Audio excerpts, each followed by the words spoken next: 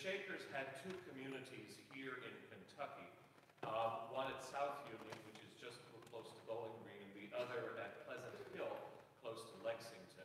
They were, uh, they practiced a very simple kind of faith. They practiced a very simple lifestyle. They left us some wonderful, wonderful music. We're going to do